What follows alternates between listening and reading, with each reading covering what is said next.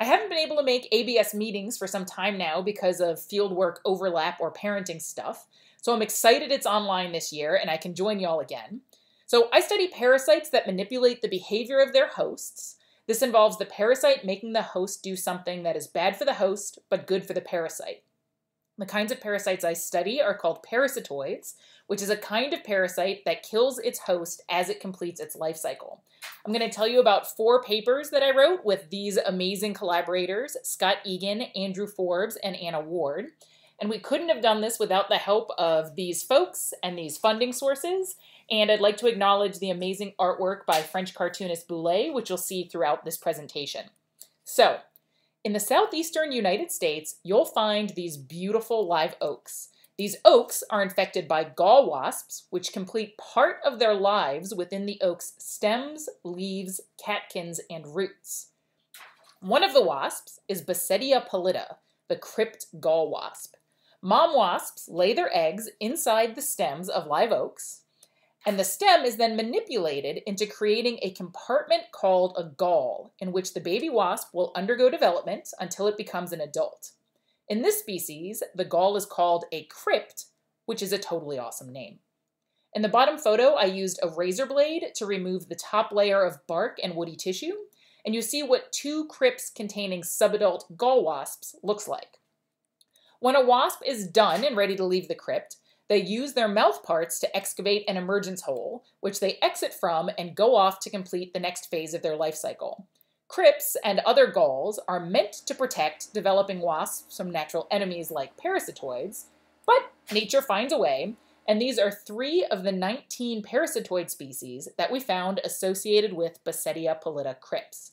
My favorite of the parasitoids is this one. We recently described this, this beauty and let me tell you a bit about what she does to the gall wasp host. So, the parasitoid mom lays an egg inside of the crypt while the gall wasp is developing. At a later point, the host is then induced to start creating an emergence hole. This emergence hole is smaller than the ones they typically make, and the host dies with, with its head plugging the hole.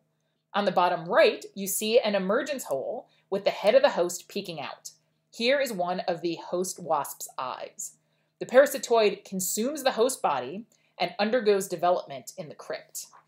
When the parasitoid is done its development, it chews a hole through the host head and emerges to go off and find a mate.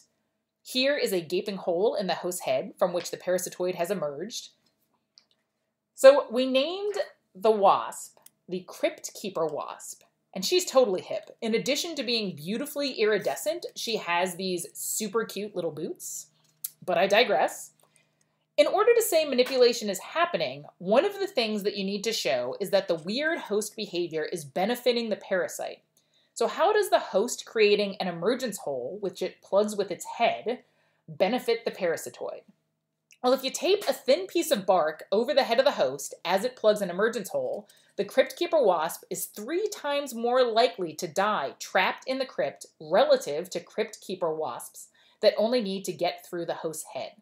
So it seems like the crypt keeper wasp is not good at excavating its own emergence holes, perhaps its mouth parts aren't as strong as those of its host, and it needs the host to create an emergence hole for it. That's not to say that parasitoids can never get out. Here is a hole made by a crypt keeper wasp that did manage to get through the bark. So Scott Egan went to the American Museum of Natural History and the Smithsonian Institution and noticed that their collections included closely related gall wasp species with their heads plugging emergence holes.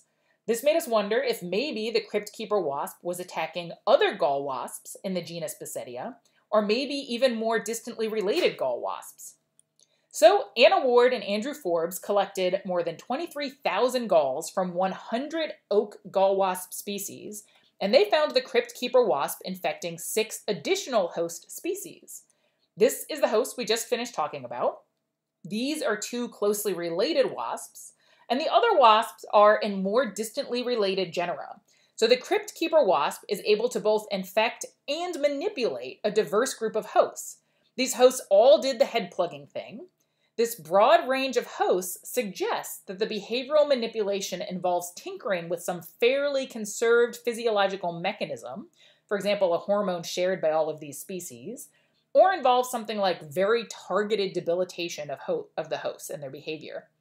What does tie these seven hosts together is that they all have relatively poorly defended galls. Some galls made by other species have fuzz or spikes or other things that make it hard for the mom parasitoid to get her egg into the right spot in the gall.